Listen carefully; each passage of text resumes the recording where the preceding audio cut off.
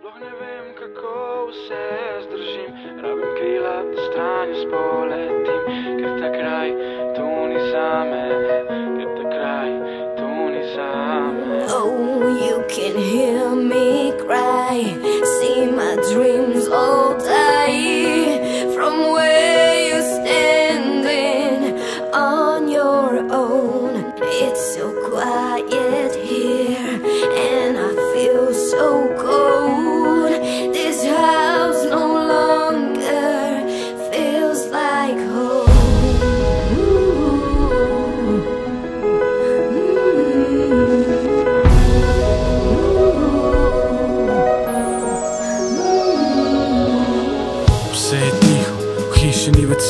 Ni veselja, samo stavba in pa streha.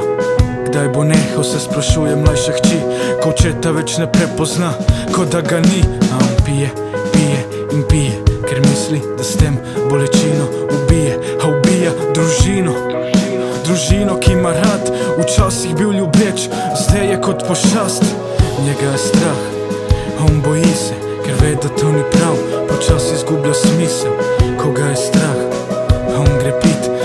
Ga spremeni v tisto, kar noče biti, zdelane dlani in krvave oči, spijačo hoče skrit, kako trpi, a točno to je krivo, a se tega ne zaveda, on pa dalje srka, viski s kocko leda.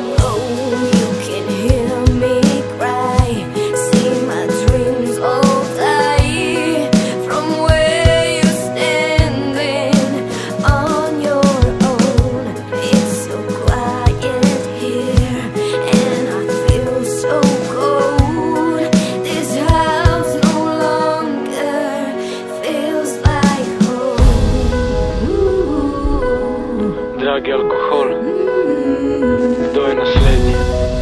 Povej, če upaš, preveč družin si že potopil. Pa začne se, ko pride do nasilja in ko je alkohol bolj pomemben kot familija. Pol ta histerija, ki rodi se v otroku, ko non-stop je pod stresom, non-stop je v šoku.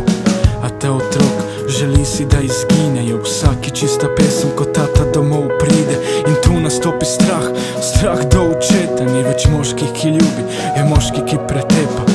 Vse je obljubo, da bo nehal pit, občutek ne moči, ko ne more spremeniti. Kar z ljubeznijo zgradil, Kar z ljubeznijo zgradil, podaruje z alkoholom. podaruje z alkoholom. Včasih srečen, da je živ, Včasih srečen, da je živ, zdaj grozi za samomorom. naše upanje je iskricaj. Vešno stopi konec ko gasna zadnja šibica.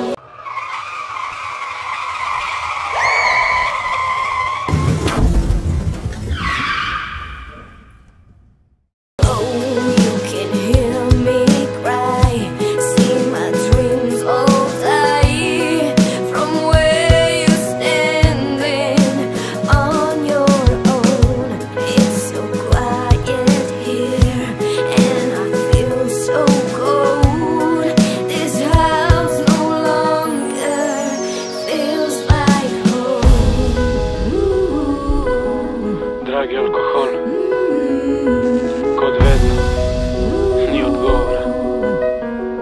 Ti samo dalje, potiši sploh ne veš, kako vse zdržim. Rabim krila, da stran spoletim, ker ta kraj tu ni zame,